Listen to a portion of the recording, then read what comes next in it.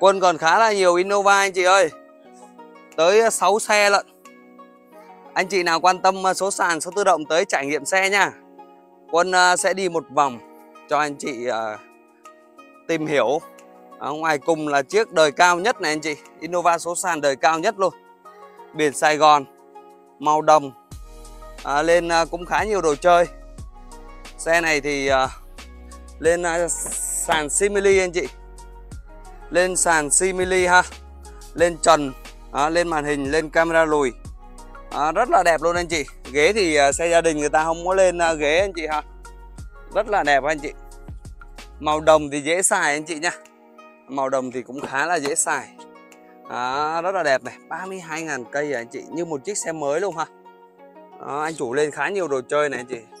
Đó, Lên mấy cái này à, ốp lại cho nó mới ha. Tiêu hao nhiên liệu thì à, 8 tới 12 lít anh chị. Rất là hợp lý nha. Đó, Chiếc này là chiếc đời cao nhất. Cái bên này đời thấp hơn chút 2020 Đây là chiếc à, Innova E số sàn Biển Tây Ninh 45.000 cây 580 triệu còn thương lượng anh chị. Xe này lên nhiều đồ chơi anh chị nha.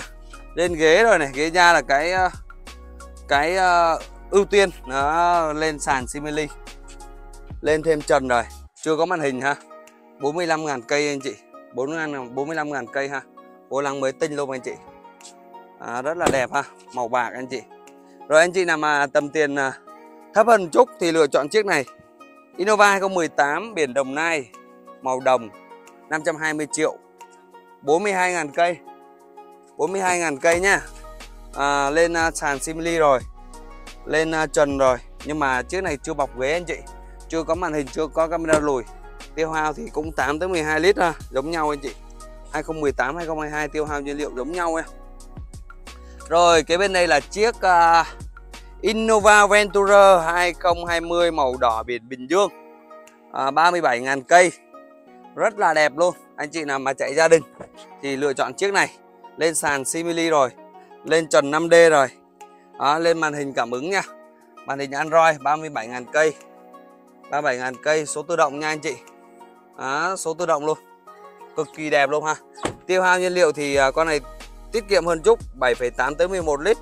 Đó, 70 trong đường thành phố thì con này tiết kiệm à, tốn xăng hơn nhưng mà đường ngoài đô thị con này tiết kiệm hơn. Rồi cũng cùng đời 2018 thì Quân lại có thêm một chiếc Innova. 2018 chiếc này thì full option ha. Lên cam 360 Lên phim cách nhiệt Lên về che mưa Lên màn hình. Jet tách luôn Màn hình xịn luôn à, Rất là đẹp ha. Chiếc này đi nhiều hơn chút là 56.000 cây. Nhưng mà bán 52 thôi. Đó rất là đẹp luôn anh chị. Rồi Kế bên đây là chiếc uh, Innova Ventura nữa anh chị. 2019 luôn. 2019 bán 660 anh chị. Màu trắng nha. Cực kỳ đẹp luôn. Tiêu hao nhiên liệu 7 tới à, 11 lít. Đây anh chị 54.000 cây. Lên màn hình cảm ứng rồi.